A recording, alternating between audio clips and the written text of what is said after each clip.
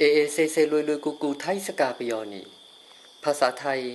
สบายสบายสไตล์เรา အားလုံးပဲမင်္ဂလာပါခုဦးစင်ကဦးစင်ပွဲနာမည်ကဦးဇနကဖြစ်ပါတယ်ဦးစင်ထိုင်းနိုင်ငံမှာနေနေပါတယ်လက်ရှိနေနေတာကတော့ထိုင်းနိုင်ငံမြောက်ပိုင်းလမ်ပန်းမြို့ချင်းမဲ့အနီးနားမှာရှိတဲ့လမ်ပန်းမြို့ ဗမာကျောင်းတိုင်ဖြစ်တဲ့ဝတ်ထမအိုးကျောင်းတိုင်မှာတရင်သုံးနေထိုင်နေရှိပါတယ်အဲတော့ထိုင်းနိုင်ငံထဲမှာလာပြီးတော့ဘဝရည်တည်ရေးအတွက်နော်အလုံးတော့ဟိုရန်တန်ဃာတွေရောတရားဓမ္မတွေရော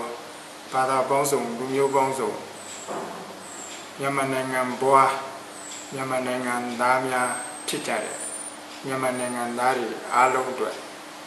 နော်ဦးစင်ကမိမိတို့ဒီဘာသာကြားတစ်ခုတနေရာမှာနေထိုင်ရပြီဆိုရင်အဲ့ဒီနေရာရဲ့ဘာသာစကားကိုတတ်ထားတင်ပါတယ်နော်အဲ့တော့ထိုင်းစကားပြောနေမြန်မာများအတွက်လွယ်ကူစွာထိုင်းစကားပြောနေမြန်မာများအတွက်လွယ်ကူစွာထိုင်းစကားပြောနေ ဒီတင်နန်းကိုဥစဉ်အင်တာနက်ကနေစပြီးသင်ကြားပါမယ်အဲ့တော့တော်တော်စေဥစဉ်မိတ်ဆက်စကားလေးပြောချင်တာကထိုင်းစကားမှာမိတ်ဆက်စကားအားလုံးသုံးတာကနေရောညရောဘယ်အချိန်မှာတွေ့တွေ့နှုတ်ဆက်စကားမိတ်ဆက်စကားပြောဆိုတာကအလုံးသောမြန်မာမိတ်ဆွေတွေအားလုံးတည်ထားပြကြပြီးဖြစ်နေပါတယ် အဲ့တော့မိတ်ဆက်စကားကထိုင်းကြီးပြောကြတာကစဝတ္တီစဝတ္တီစဝတ္တီဒီနေရာမှာစဝတ္တီဆိုတာ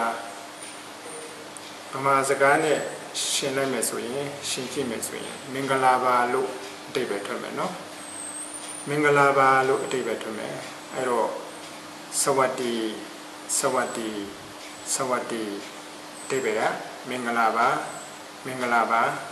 မင်္ဂလာပါ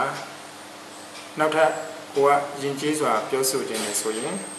မင်္ဂလေးလည်းမင်္ဂလေးနောက်ဆုံးယဉ်ကျေးကျေးပြောတဲ့စကားလုံးလေးတွေထိုင်မှလည်းရှိကြပါလေယောက်ျားလေးအတွက်လည်းယဉ်ကျေးစွာနောက်ဆုံးအဆုံးသက်တဲ့စကားလုံးတွေရှိကြပါလေရှိကြပါတယ်အဲတော့ကိုကယဉ်ကျေးကျေးပြောချင်ရင်မင်္ဂလေးဖြစ်ရင်နောက်ဆုံးကနေပြီးတော့ခလို့ထည့်ရတယ်ခ ခအတိပ္ပယ်ကရှင်ရှင်ရှင်လို့အတိပ္ပယ်ရပါတယ်မြို့သားများအတွက်ကတော့ခရပ်ခရပ်ဒါမှမဟုတ်ခပ်ဒီလိုလေးရပါတယ်။ကေကွာပိပိတတဒီစလုံးပေါင်းတိုင်းထွက်မယ်ဆိုရင်ရာကောက်ရကောက်အတန်လေးထွက်ရပါမယ်။ခရပ်ကေကွာယူယူစကားယူယူပြောနေကြရတပြောနေဆိုရင်တော့ခပ် ဒါရဲ့အတိပ္ပယ်ကဟုတ်ကဲ့အဲခမားလို့အတိပ္ပယ်ရပါတယ်ဒါနမူနာပြောကြည့်မယ်ဆိုရင်မြူတအမြူတမီများအတွက်သဝတိခအတိပ္ပယ်ကမင်္ဂလာပါရှင်သဝတိခသဝတိခမင်္ဂလာပါရှင်အမျိုးသားများအတွက်ကသဝတိခရပ်သဝတိခရပ်သဝတိခပ် หรือสวัสดีဓม္မမုတ်สวัสดีครับဓမ္မမုတ်สวัสดีครับနောက်ဆုံးလုံးမှာ crab ဆိုလည်းရပါတယ် crab ဆိုလည်းရပါတယ်အဲ့တော့ကုလောရောစေနှုတ်ဆက်စကားလေးနဲ့အလုံးတော်မြန်မာမိတ်ဆွေတွေအားလုံးကဲဒီညနေစပြီးတော့မြန်မာများအတွက်လွယ်ကူသောထိုင်စကားပြောနေဖြစ်ပါတယ်